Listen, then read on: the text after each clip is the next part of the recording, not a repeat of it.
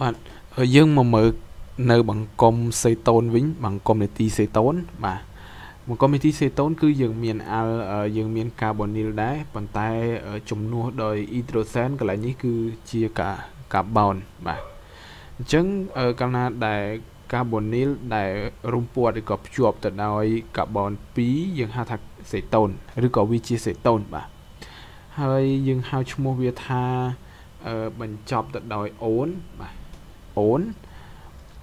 ឬក៏បើសិនវាជាខ្នែងយើងទៅហៅវាថាអូសូបាទអូសូ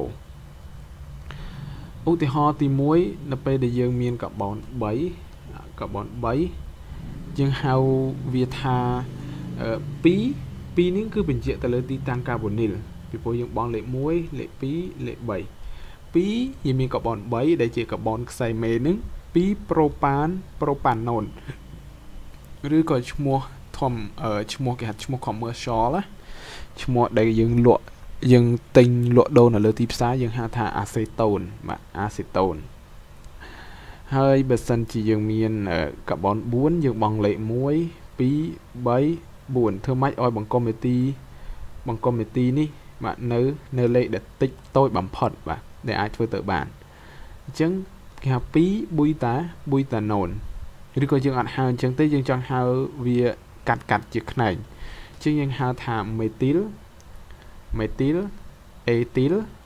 ខេតូនបាទឬក៏ជាខ្មែរយើងអាចថាមេទីលអេទីលសេសេតូនបាទនេះក៏ដូចគ្នាដែរអឺយើងបង់លេខពីនេះមក1 2 3ដើម្បីឲ្យ4 5 6ដើម្បីឲ្យលេខដើម្បីឲ្យបង្កុំអេទីអាកាបូនីលនេះគឺនៅលេខលេខលំដាប់ដែលមានលេខតូចបាទ អញ្ចឹងយើងអានយើងអាចហៅឈ្មោះថា 3x hexanone អត់សំទោស x hexanone បើយើងចង់ហៅដោយខ្នែងក៏បានដែរយើងហៅបាទយើងហៅ ethyl ethyl ethyl propyl បាទ propyl សេតូនអញ្ចឹងទៅបាទអេទីប្រូពីលសេតូនពីព្រោះយើងមានអេទីលយើងមានប្រូពីលហើយនឹងបង្កុំសេតូនបាទ ចំពោះខ្នែងវិញបាទចំពោះខ្នែងវិញ គឺយើងហៅវងបងសែននេះ ជាខ្នែងយើងហៅវាថា penil បាទហើយនេះគឺ methyl penil methyl ដោយសារយើងមានបង្កុំសេតូនយើងហៅថាសេតូនអញ្ចឹង penil methyl cetone ឬក៏យើងហៅឈ្មោះ commercial វាថា aceto acetophenone បាទ